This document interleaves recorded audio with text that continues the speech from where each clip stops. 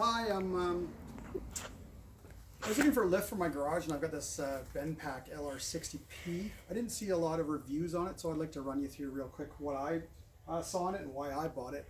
Uh, hopefully, it'll help you make your decision. I'm just gonna, while I'm talking to you, I'm gonna run it up. Um, this one's installed in my garage. Um, if you want to come this way and have a look, you can see that I've got the motor over here. It's mounted up on the wall, and uh, just plugged into house current. Works really well on the house current. This is a 60p, it's portable. Um, and the difference between the 60 and the 60p, if you come over here, it's got a couple wheels here, lifted up on the wheels. And then it's got a handle over here. The handle goes underneath the nose right here at the front, lifts it up, and it will roll back and forth. Now it's portable in so much as you can roll it around. Just to let you know, it's okay on this smooth concrete out on my driveway these wheels were scratching the uh, brushed concrete. So if you have a nice driveway or you have stamped concrete, you're not going to be running this all over. It'll scratch the hell out of it. But it is portable. It will move around. I don't know how much that feature is, but it's kind of nice. Um, some of the reasons I got it for my garage is I don't have a lot of overhead. If you pan up, you can see uh, the garage door comes in at about eight feet. Uh, this is about nine foot and a half. Uh, I considered a two post and I'll go into that in a second. I'm to run it up for you. So here it is going to the top, empty.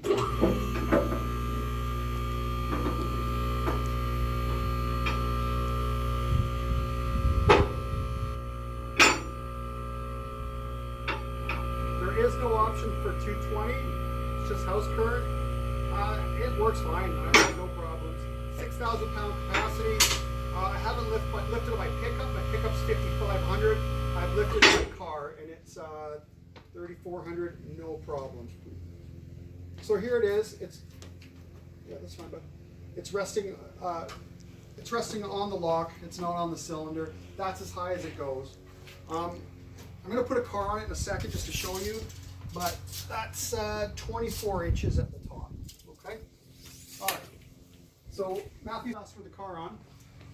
All right, so I'm gonna put my E46 on, just for you guys that have lowered cars. Me. For you guys that have lowered cars, uh, I've got a, a two inch drop in the front. Looks like the bumper's at about five inches off the ground, five and a half. Uh, I'm gonna drive it onto the lift. No clearance problems. I haven't scraped. So just tape uh, going on the lift.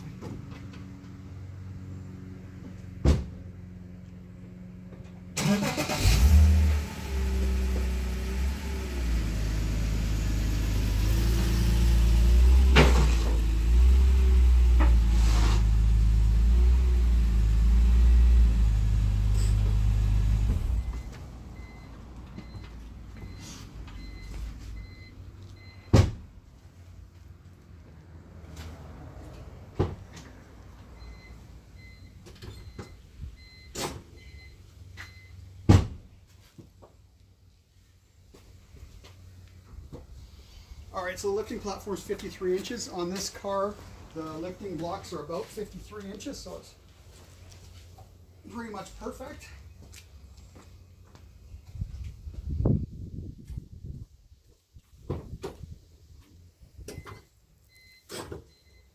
Now we're going to bring it up.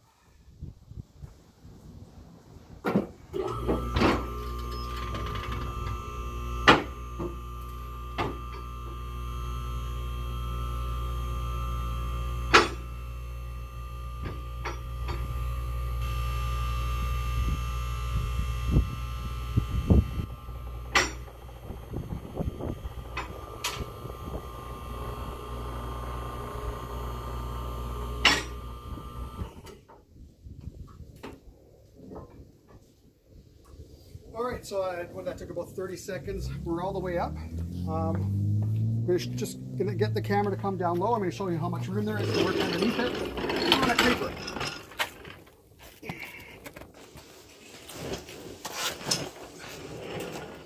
Come on, right down here. All right, so here I am on the creeper. I got lots of room. I can reach everything. I don't have to reach far.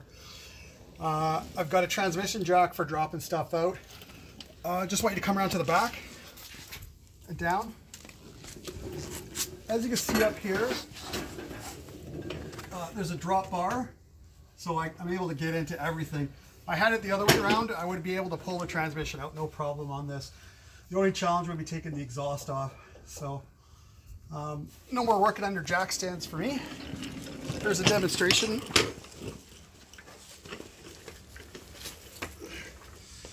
All right, so uh, anyways, that's how it works. Um, I've been happy with it. Um, I picked it up used for about 1200 bucks, which was a really good deal. It was only about six months old. Uh, beats working under jack stands. Some of the things I didn't like about the two post, uh, I definitely preferred the clear floor. Um, I don't know how much more lift I could have got if you pan up here. You can see between that door, that's maybe 18 inches. So without having to remodel and put the door up higher, I would have got maybe another 18 inches of lift. So I could have worked on a chair instead of the on here, but it's not that much better. The one thing I didn't like about the two post was every time you drive in, you're gonna hit your door on that post. So you gotta be careful getting in and out. When I've when I have this down and I park on top of it, it's like it's not there. Uh, and for my garage space, that's a that's a big a big bonus. Uh, I don't have to worry about the overhead. I can still keep my bicycles and stuff hanging above it. So, anyways, uh, I hope this helped you make your decision. I know there wasn't a lot of good uh, reviews on this online. this is maybe not a terribly good one, but at least you got to have a look. Thank you.